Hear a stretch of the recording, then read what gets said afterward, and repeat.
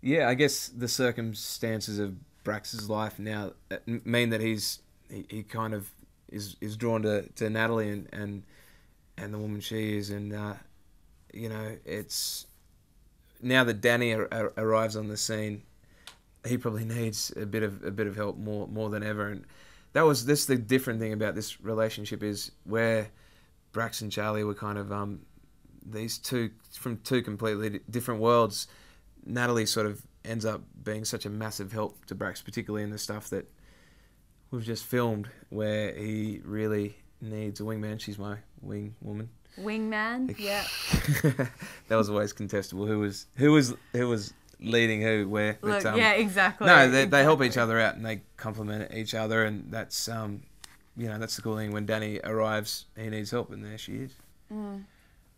She loves helping. She's a it. helper. She is a helper. When it comes to Leah, obviously, you know, another great looking, great looking woman that caught his eye.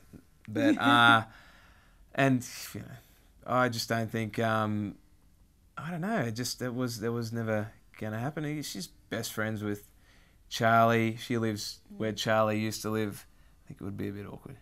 Yeah, just slightly. There are a few things, few hurdles in, in standing in the way of that one. But um, you know, clean slate with this one. Yes.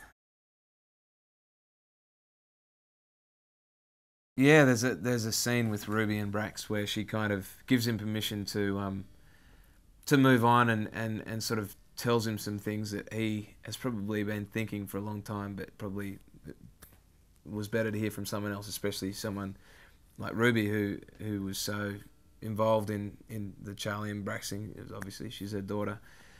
So she um she sort of says, you know, I, I know I'm going through this hard time. I know you're going through it too, and you can't blame yourself. You've got to you've got to you've got to let it go and you've got to get on with your life because you know ultimately that's what Charlie would want. So there's a scene that comes up where I kind of um, suggested as the one of the few suggestions I've I've made for for the character, but maybe a scene where Brax finally gets to say what he wants to say. He didn't go to the funeral and he he dealt with her death in his own way, which probably in hindsight wasn't the best way at all, but th- there needed to be a moment where he could say goodbye to her. And while he, he knows, you know, he's got this thing where he, um, you know, she's always present in, in his life, and he had to kind of just say, well, you know, I've got to move on. And um, yeah, we did that. Mm. There's a scene that you'll you'll see where he kind of gets a chance to do that, which I, don't, I haven't seen it, but a few people said it, it looked okay, so hopefully it does the Mm. job.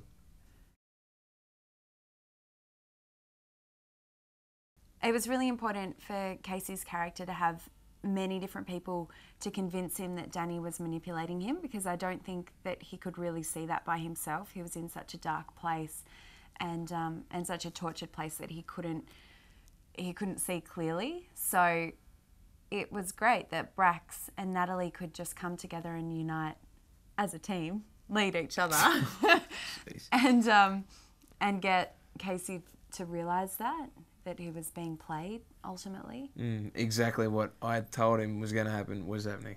Exactly what Natalie told him as well.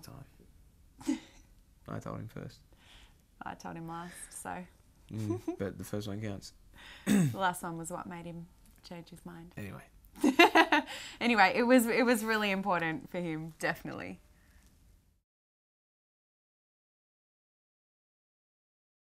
Yeah, I've really enjoyed the storyline. There's lots of exciting things coming up.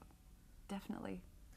I've really enjoyed the yeah the new direction that Brax's life has taken, and and you know Natalie is sort of she's almost central to it. Um, so it just it's another side of Brax that the audience you know is going to see. And Catherine, I don't like her personally. She's been hor- horrible to work with, very unprofessional.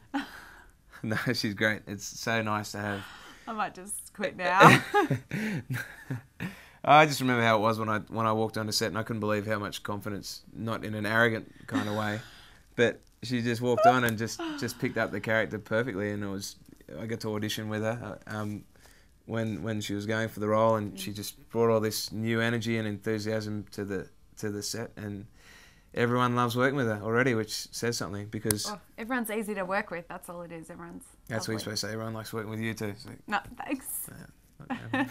no, she's great. We have we have a lot great. of fun.